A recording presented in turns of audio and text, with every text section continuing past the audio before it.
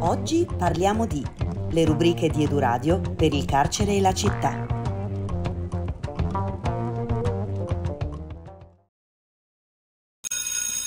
School on Air, la rubrica settimanale di cultura e didattica a cura delle insegnanti del CPA metropolitano di Bologna in servizio presso la casa circondariale Rocco D'Amato.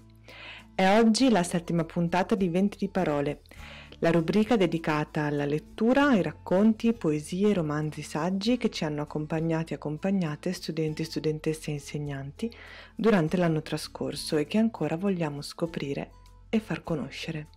Buon ascolto! Buongiorno a tutti e a tutte le studentesse e gli studenti della Casa Circondariale di Bologna. Chi parla è Martina, insegnante di italiano e studi sociali del CPA. Eccoci alla settima puntata di Venti di Parole, rubrica dedicata all'ascolto, alla lettura e ai libri, che è proseguita per tutto il mese di luglio e il mese di agosto. L'intento e il desiderio è sempre quello di tenerci in contatto anche d'estate e farlo con i libri e la lettura, lasciando alla radio le parole di scrittori e scrittrici di oggi e del passato perché arrivino a voi un po' come trasportate dal vento. In ogni puntata parleremo di un libro e ne leggeremo dei brani abbinandoli a della musica. Alcuni di questi testi qualcuno di voi li conosce già perché li ha letti e ce li ha suggeriti, di altri abbiamo letto insieme qualche pezzetto durante i mesi in cui ci siamo potuti vedere in presenza, mentre altri sono completamente nuovi. Alcuni sono dei racconti, altri dei pezzi di romanzo, altri delle fiabe, altri ancora delle poesie. Alcuni li potete trovare nella biblioteca dell'area pedagogica. Altri possono essere presi in prestito attraverso il servizio di sala borsa non appena sarà riattivato. Dunque, se vi piacciono, segnatevi su un foglietto il titolo e l'autore. E di tutti speriamo di poter parlare o riparlare insieme in presenza a settembre e speriamo che ci accompagnino durante l'anno scolastico che verrà. Oggi la maestra Anna legge alcuni pezzetti del ehm, libro Le città invisibili di Italo Calvino, che è un libro che è stato pubblicato per la prima volta nel 1972 dalla casa editrice Inaudi e che negli anni ha avuto molte ristampe anche da Mondadori. È un libro che raccoglie tante descrizioni di città e che ci fa immaginare spaesare, riconoscere. A volte le città di cui leggeremo ci potranno sembrare molto strane. Ci sembrerà di non aver mai visto delle città così. Forse è vero, non ne abbiamo mai viste di così, o forse sì, e lo scopriamo leggendo il libro e ascoltando la lettura di questi pezzettini. Le città invisibili è anche il libro di un viaggio, fatto da un esploratore al servizio di uno dei più noti imperatori dell'Oriente. L'esploratore sta cercando qualcosa, attraversa spazi vastissimi, vede mille città e poi le racconta all'imperatore, che lo ascolta incantato. Calvino, nell'introduzione delle città invisibili, nella presentazione delle città invisibili, ne parla così. Nelle città invisibili non si trovano città riconoscibili. Sono tutte città inventate. Le ho chiamate ognuna con un nome di donna. Il libro è fatto di brevi capitoli, ognuno dei quali dovrebbe offrire uno spunto di riflessione che vale per ogni città o per la città in generale. Il libro è nato un pezzetto per volta, a intervalli anche lunghi, come poesie che mettevo sulla carta, seguendo le più varie ispirazioni. Io nello scrivere vado a serie. Tengo tante cartelle dove metto le pagine che mi capita di scrivere, secondo le idee che mi girano in testa, oppure soltanto appunti di cose che vorrei scrivere. Ho una cartella per gli oggetti, una cartella per gli animali, una per le persone, una cartella per i personaggi storici e un'altra per gli eroi della mitologia. Ho una cartella sulle quattro stagioni e una sui cinque sensi. In una raccolgo pagine sulle città e i paesaggi della mia vita e in un'altra città immaginarie, fuori dallo spazio e dal tempo. Quando una cartella comincia a riempirsi di fogli, comincio a pensare al libro, che ne posso tirar fuori. Così mi sono portato dietro questo libro delle città negli ultimi anni, scrivendo saltuariamente, un pezzetto per volta, passando attraverso fasi diverse.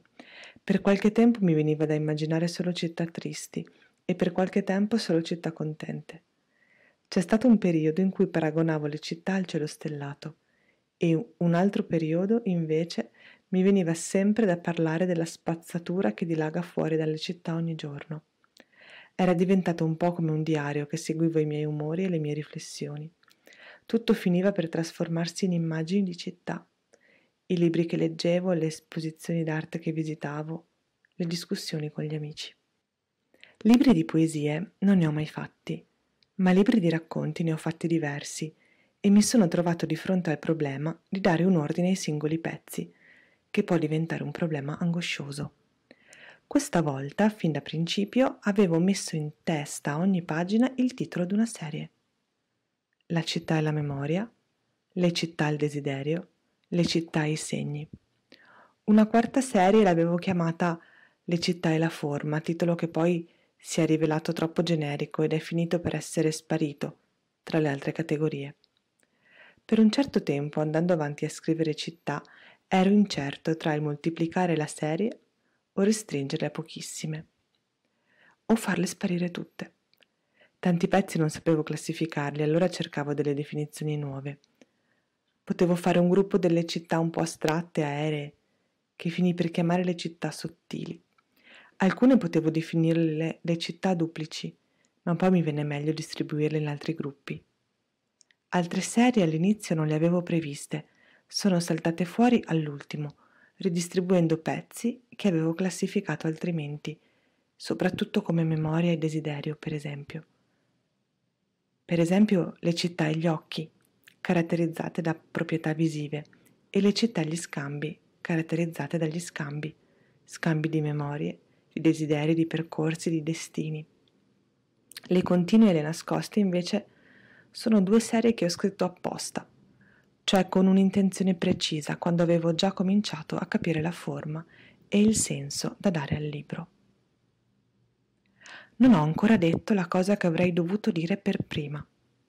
Le città invisibili si presenta come una serie di relazioni di viaggio che Marco Polo fa a Kublai Khan, imperatore dei Tartari.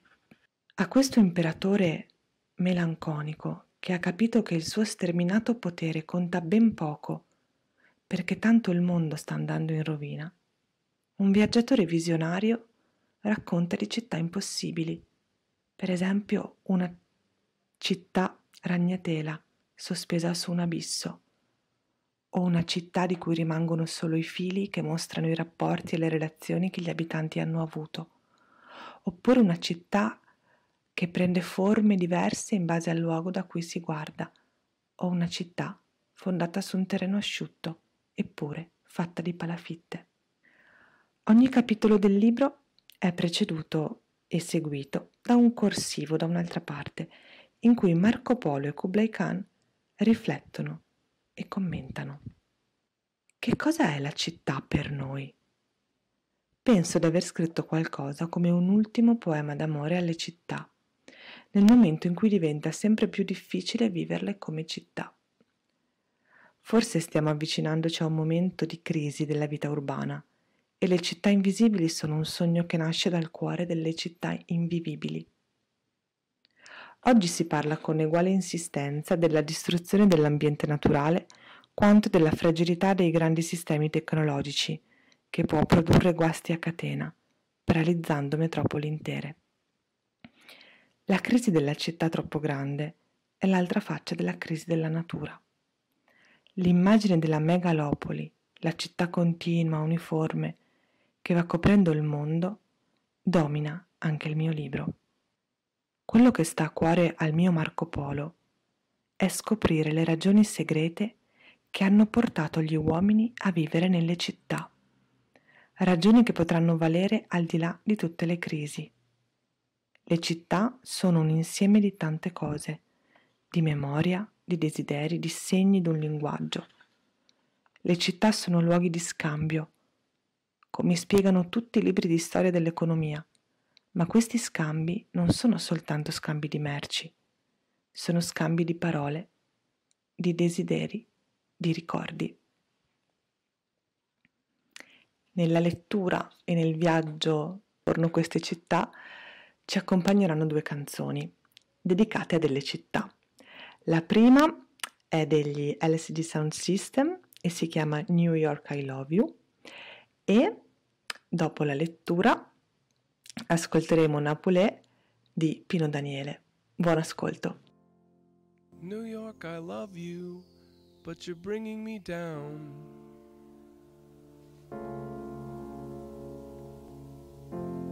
New York, I love you, but you're bringing me down. Like a rat in a cage, pulling minimum wage. New York, I love you, but you're bringing me down.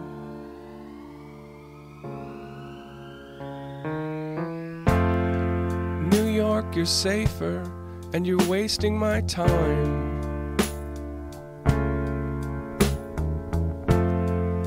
Records all show you were filthy but fine. But they shuttered your. Bauci.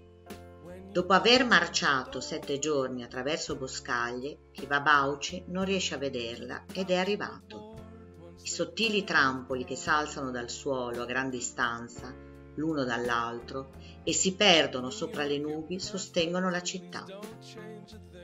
Ci si sale con scalette, a terra gli abitanti si mostrano di rado, hanno già tutto l'occorrente lassù e preferiscono non scendere. Nulla della città tocca il suolo, tranne quelle lunghe gambe da fenicottero a cui si appoggia e nelle giornate luminose un'ombra traforata e angolosa che si disegna sul fogliame. Tre ipotesi si danno sugli abitanti di Bauci, che odino la terra, che la rispettino al punto da evitare ogni contatto, che la amino come era prima di loro e con cannocchiali e telescopi puntati in giù non si stanchino di passarle rassegna, foglia a foglia, sasso a sasso, formica per formica, contemplando affascinati la propria assenza. New York, I love you, but you're freaking me out. New York, I love you, but you're bringing me down. New York, I love you, but you're bringing me down. Like a death of the heart. Jesus, where do I start? But you're still the one pool where I'd happily drown.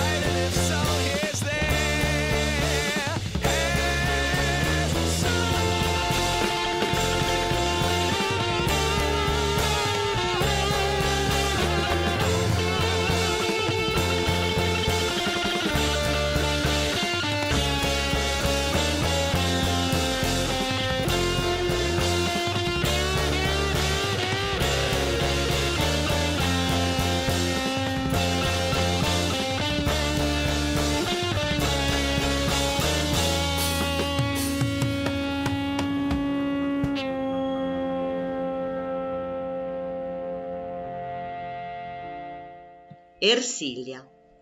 A Ersilia, per stabilire i rapporti che reggono la vita della città, gli abitanti tendono dei fili tra gli spigoli delle case, bianchi o neri, o grigi, o bianco e neri, a seconda se segnano relazioni di parentela, scambio, autorità, rappresentanza. Quando i fili sono tanti che non si può più passare in mezzo, gli abitanti vanno via. Le case vengono smontate, restano solo i fili e i sostegni dei fili. Dalla costa d'un monte, accampati con le masserizie, i profughi di Ersilia guardano l'intrigo di fili tesi e pali che si innalza nella pianura. È quello ancora la città di Ersilia e loro sono niente. Riedificano Ersilia altrove, tessono con i fili una figura simile che vorrebbero più complicata e insieme più regolare dell'altra. Poi l'abbandonano e trasportano ancora più lontano sé e le case. Così, viaggiando nel territorio di Ersilia, incontri le rovine delle città abbandonate, senza le mura che non dura, senza le ossa dei morti, che il vento fa rotolare, ragnatele di rapporti intricati che cercano una forma. Pulling minimum wage. New York, I love you, but you're bringing me down.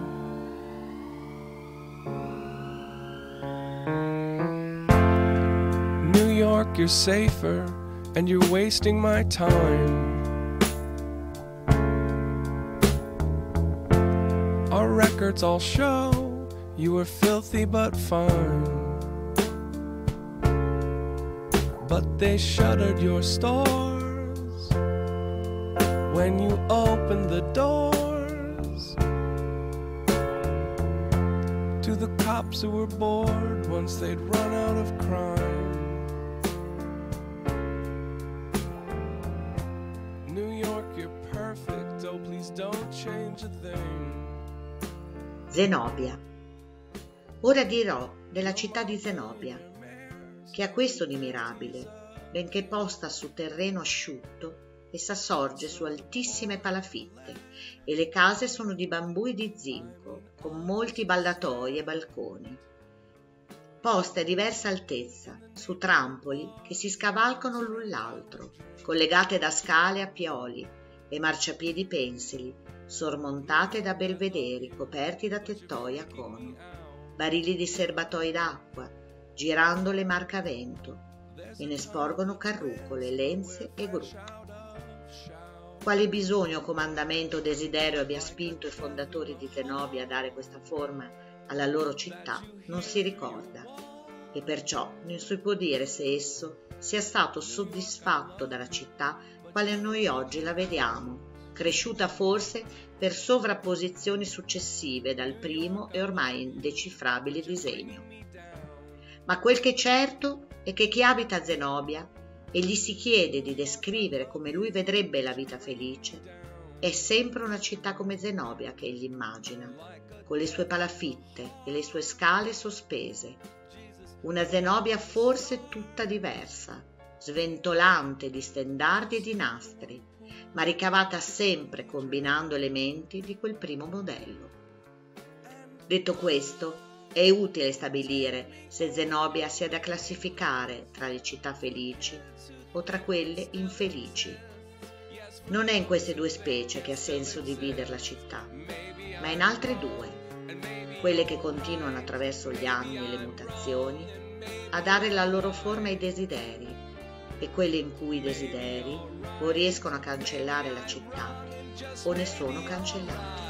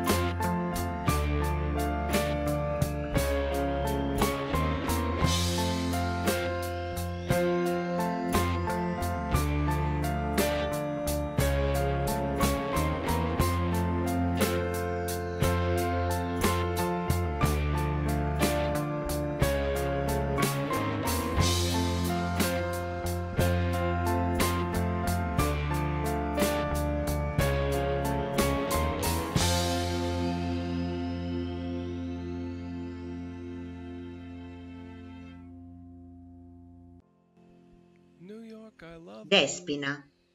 In due modi di- si raggiunge Despina, per nave o per cammello. La città si presenta differente a chi viene da terra e a chi da mare. Il cammelliere che vede spuntare all'orizzonte dell'altipiano i pinnacoli dei grattacieli, le antenne radar, sbattere le maniche a vento bianche e rosse, buttare fumo i fumaioli, pensa a una nave, sa che è una città, ma la pensa come un bastimento che lo porti via dal deserto, un veliero che sia per salpare, col vento che già gonfia le vele non ancora slegate, o un vapore con la caldaia che vibra nella carena di ferro. E pensa a tutti i porti, alle merci d'oltremare che le gru scaricano sui moli, alle osterie dove equipaggi di diversa bandiera si rompono bottiglie sulla testa, alle finestre illuminate a pian terreno, ognuna con una donna che si pettina. Nella foschia della costa il marinaio distingue la forma d'una gobba di cammello. D'una sella ricamata si frange luccicanti tra le due gobbe chiazzate, che avanzano dondolando.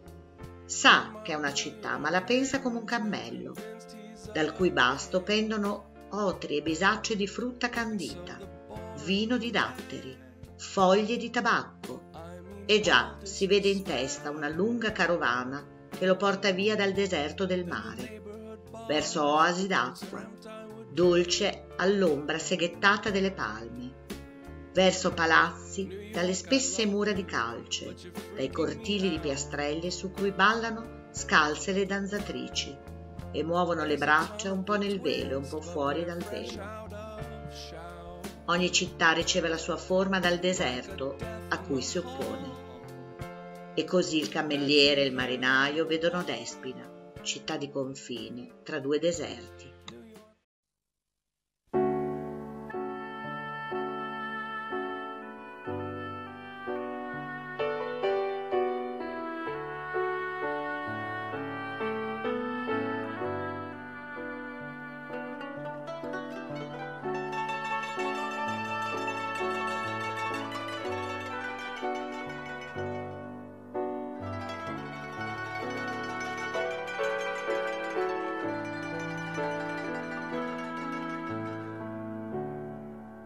Napoli mille colori.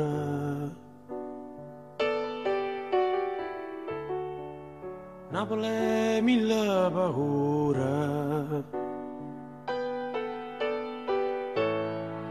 Napoli è voce e creatura che sai chiano chiano e tu sai che non sei sola.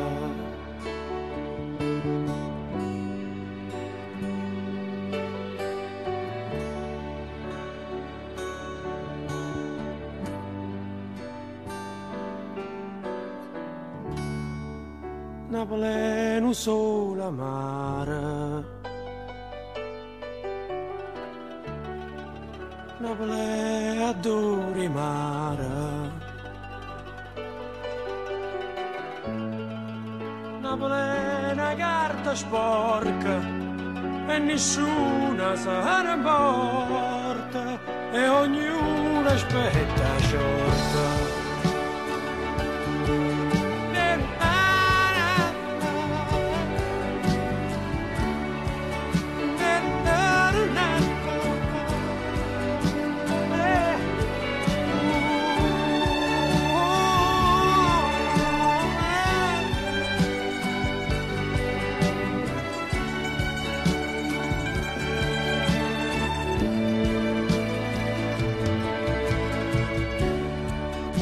Una camminata Rende viga mie salata Napoli è tutto un sogno E a sabato tutto mondo Ma non sa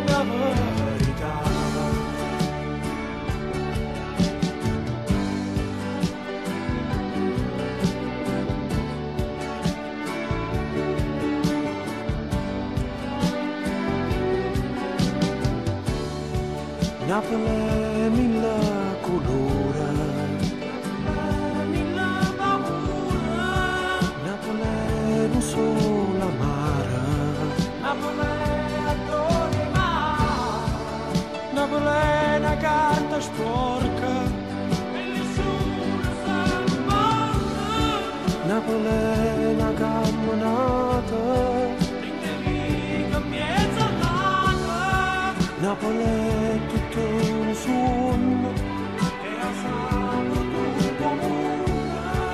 è tutto un